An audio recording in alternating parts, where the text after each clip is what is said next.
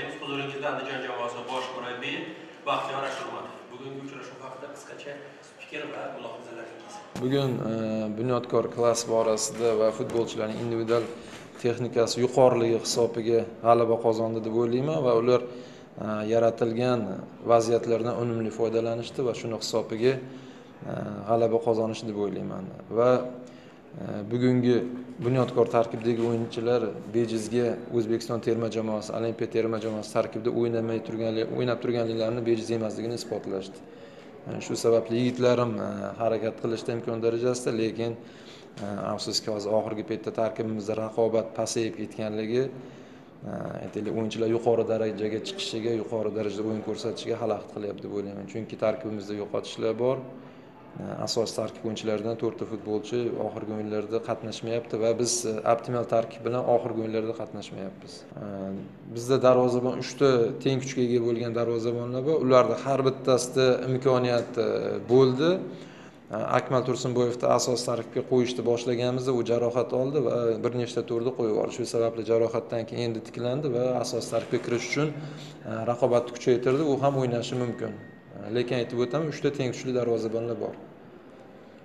Umuman olganda bugungi darvozabonga e'tirozingiz yo'q. Yo yo'q yo'q endi har bitta o'tkazilgan golda man o'ylaymanki darvozabonni aybi bo'ladi lekin bu yerda kimnidir e, ayblash fikridan yiroqman afsuski birinchi kiritilgan golda e, burchak to'pi tepilganda e, himoyachilarimiz zuvagina yo'qotib qo'yishdi. Biz o'yindan oldin raqib jamoa tarkibida kimlar standart vaziyatlarga borishini va bizni himoyachilarimiz kimga qarshi o'ynash kerakligini e, ta'kidlab o'tgandik lekin e, e'tibor yo'qotilgani bizga qimmatga tushdi. Va bunyodkordek kuchli jamoa bilan o'yin boshidagi qo'yib yuborilgan gol ularga juda yam katta ustunlik berdi man o'yinda boshida ta'kidlab o'tgandim yigitlar qancha nol nol hisobini ushlab tursak shuncha bunyodkor asabiylasha boshlaydi va qarshi hujumlardan bizda foydalanish imkoniyati bo'ladi degan fikrlarni aytgandim lekin afsuski o'yin boshidagi o'yin gol hammasini o'zgartirib yubordi. Aytib o'tgandek oxirgi paytda o'yinchilarimizni jarohatlari raqobatni kuchsizlanishiga olib keldi va bugungi tarkib hozirgi paytda eng optimal tarkibimizmidi lekin man qaysidir bir futbolchini e, ayblash fikridan yiroqman. Yutkazdikmi butun boshli jamoa yutkazdik. Murabbiylar o'yinchilar hammamiz birgalikda yutkazdik.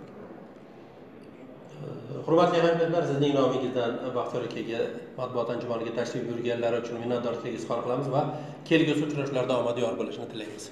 katta rahmat Haqiqatdan omadinglarni bersin. sog' bo'linglar